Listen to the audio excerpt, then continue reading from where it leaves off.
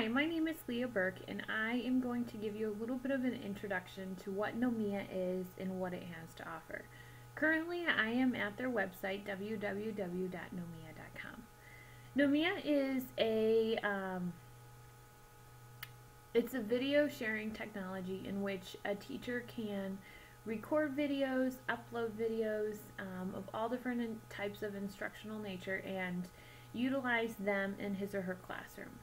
Um, some of the potential I think Knowmia has is definitely it is um, can be a vehicle for the flipped classroom model, but I also think it has potential for students needing extra extension or intervention, um, for students that might be absent from school for a significant amount of time, they could receive instruction um, via video, and also for application in your classroom. Um, for example, I currently teach elementary school, and so if I were utilizing Knowmia, I might put one group on the computers and have them watch a video and complete an activity while I was working individually with another group. So I think there's a lot of um, potential for Knowmia to be used in different ways, and there's certainly more types of um, video software out there in which a teacher can use to um, create this kind of atmosphere within their classroom. So the first thing I want to introduce is the two big sections available on the website. They have um, use video with your students and then explore over 9,000 lessons. And currently I am logged in as myself um, and I am able to add a lesson. Um, I can look at information for teachers. I can go right into my Knowmia um, which is kind of interesting because within that section you're able to see all of your own personal settings in terms of um, where you work and your email and what grade levels and subjects you teach. Um, it also allows you to have options in terms of how you're going to add lessons to Knowmia. There's three big ways you can do that, um, and I will show you that momentarily. So first I'm going to go into the free tools for teachers, which is the same thing as the free teacher section at the top. And as I scroll down, um, I can see that they have um, more information about the Knowmia Teach iPad app, and I have a short video that um, you can also watch about that. They have information about the home assignment tool, which is coming, it's not here yet. Um, the Video Revolution project, free training, the video lesson library, and how to on creating videos. So as I scroll down, the first section is the Knowmia Teach iPad app, and it is a very cool app for um, the iPad, which if you watch the other video, you can see some of the features it has to offer and um, what it looks like. You can also definitely get um, tutorial and support directly from their website here as well. The home assignment tool is not available yet, but I think it will definitely take Knowmia to another level because teachers will be able to manage what their students are doing, what they would like their students to do um, in terms of assignments, and they can also track that. I think probably one of the hardest things um, that comes to mind, at least for me at the elementary level, is when you try the flipped classroom model, many of my students um, rely heavily on their parents to check over their homework or get them started on homework. And so making sure that students are actually watching the videos so that they come prepared the next day would be a challenge and this would be one way teachers could manage that. The Video Revolution project is um, a pretty cool aspect of the website in which they've taken some hands-on feedback from teachers all over on how they utilize video to teach their students and how it impacts improvement, um, things that they have learned, both positive and negative, and they've posted videos online to um, get share their ideas and thoughts on this process. The free training for teachers, um, there are two ways you could do free training. If you happen to live in San, San Francisco Bay Area, you can go on site with multiple teachers and get the training. However, that's really not feasible for us. So you can email them at teachers at knowmia.com and you can schedule um, a free training via the web. They also have some other resources available, um, including tutorial lessons as well. The video lesson library, I'm going to go through that in a little bit more detail because it's really the big portion of why you would use Knowmia and what it has to offer. Um, there are thousands of videos on there and you can also create your own videos so you definitely don't have to use something already made you can come up with your own.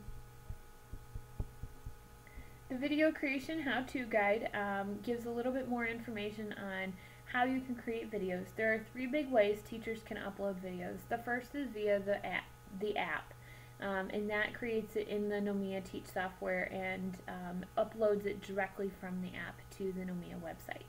Your second option is to upload your own personal video and you can upload um, MPEG-4 videos or um, QuickTime videos. There's not that many options, um, but there's definitely some in terms of uploading personal videos. And you can certainly convert um, with all the different converters available if you need to do that as well. The last option is you can actually upload videos directly from YouTube, Prezi, or Vimeo. And um, that would be another useful way, especially if you're more familiar with utilizing one of those sites. Um, you can easily drop them in there. So that's a little bit about the Tools for Teachers section.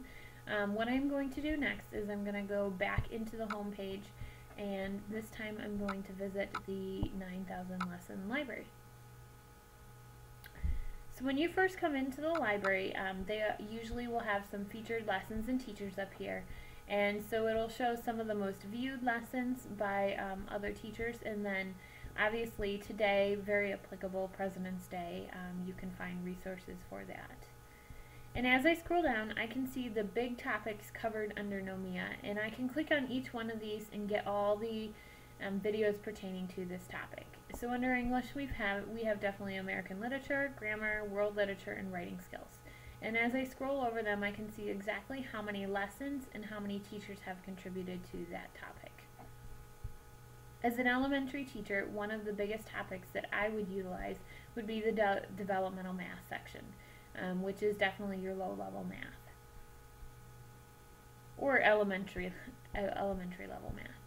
Um, so as you as I scroll down, you can see many different topics are offered. Um, many of them are more applicable to high school and collegiate level versus um, your younger students. However, you can definitely create your own videos um, for use with whatever age group you work with. So the next thing I'm going to do is I'm going to search the library.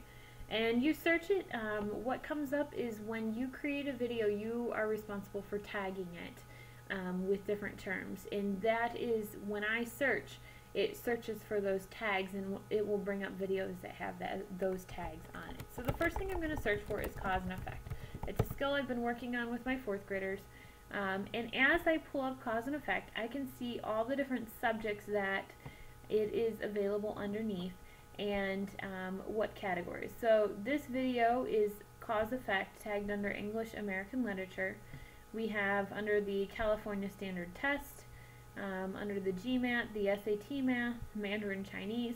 So as I'm looking real quick at these, I'm going to go ahead and click search just to see, but I don't think there's probably going to be anything um, that will be something I necessarily want and I can look quickly at the information um, in the title of the video. I can see how long the video is down here in the corner, the teacher, and then if I click on more info, I can see more details specifically about the video.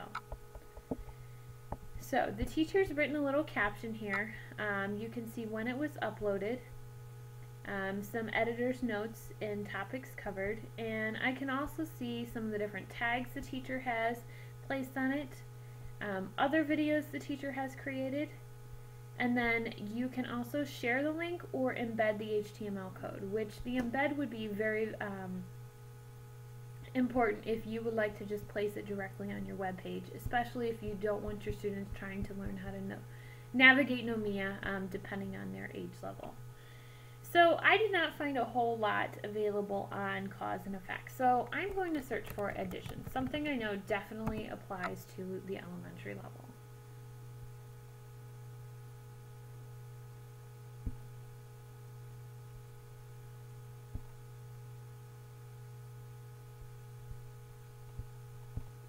Okay, I currently have the addition section up.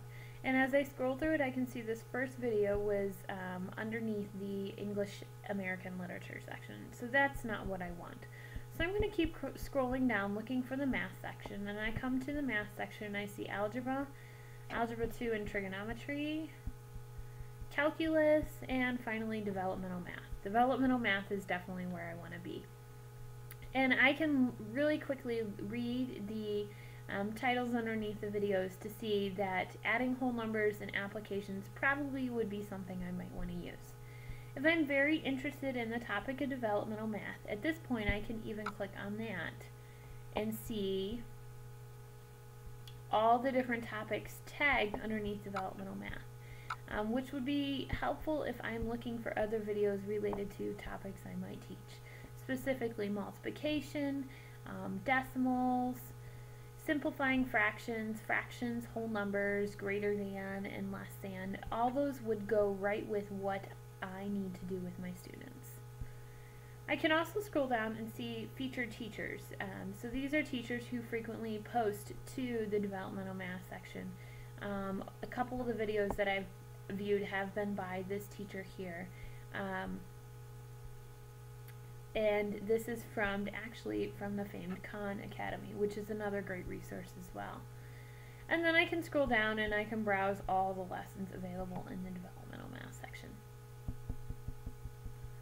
So I'm going to scroll back up um, and then just return to the home page and leave you with this. Um, Knowmia has a lot to offer. I think it's a still a growing web page, which isn't as developed as it could be, but they're definitely adding things to it.